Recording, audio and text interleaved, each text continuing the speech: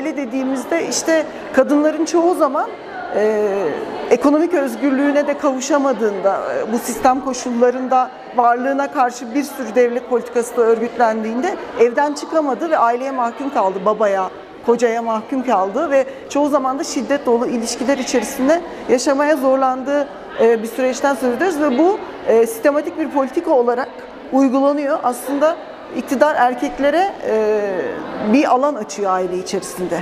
Yani bir yandan hani sömürürken, daha çok sömürürken, toplumda ezilenleri, işçileri daha çok sömürürken bir yandan da erkeklere aile içerisinde kadınlar üzerinde, çocuklar üzerinde şiddet uygulama hakkını güçlendiriyor, koruyor. Çünkü ne? Yasalar değişiyor. İstanbul Sözleşmesi gibi uluslararası e, Türk, Türkiye hukukundaki kadına yönelik şiddete karşı e, koruyucu önleyici yasaların uluslararası dayanaklarını ortadan kaldırmaya çalışıyorlar. Medeni kanundaki haklarımızı ortadan kaldırmaya çalışıyorlar. Ka- kaldı ki mahkemelerde çoğu zaman iyi hal indirimleri ve cezasızlıkta e, kadınların şiddete maruz kaldığında başvuru yapma e, yaptığımda ne sonuç alacağım sorusuyla karşı karşıya gelmesine neden oluyorlar.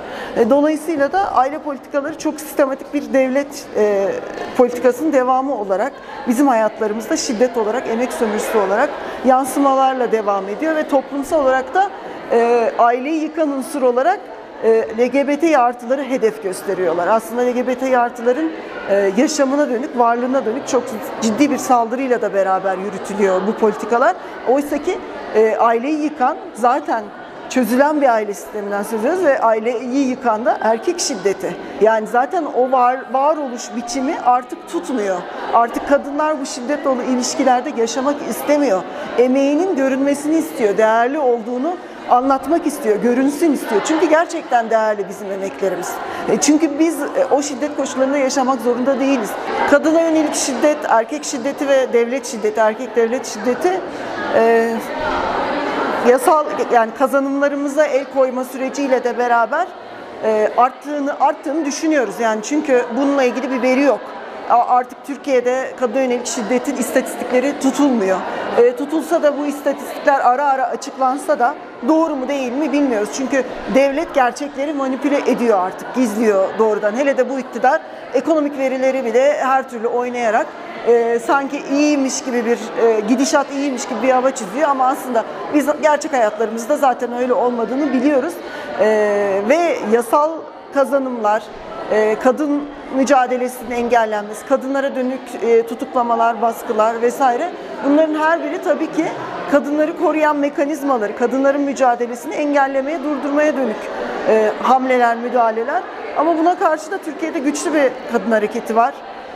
Feminist mücadelede, kadın harekette uzun yıllardır hem haklar için, yani yasal kazanımlar için ama sadece kanun çerçevesindeki haklar için değil, aynı zamanda birbirini savunmak için, birbiriyle dayanışma yollarını bulmak için çok çaba gösteriyor. Yani şiddet var, evet. Ee, şiddet yaşamlarımızı çok fazla çevrelemiş vaziyette. Ee, çoğu zaman ekonomik olarak da ailelere bağımlılığın arttığı, e, işte aynı evlerde kalmak zorunda kaldığı durumları kadınların yaşayabiliyoruz. Bu dönem özellikle neoliberal kapitalizmin e, bütün krizin yükünü emekçilerin, yoksulların sırtına yıktı. Bu dönemde böyle bir sorunun olduğunu görüyoruz ama öte yandan kadınlar arası dayanışma da çok güçlü. E, Birbirine sahip çıkma, davasını takip etme, birbirinin sesini duyma, şiddete tanık olduğunda sessiz kalmama. E, Bu davranışları öğrendik ve birbirimizle dayanışarak, mücadele deneyimlerimizi daha çok paylaşarak geliştirmeye çalışıyoruz.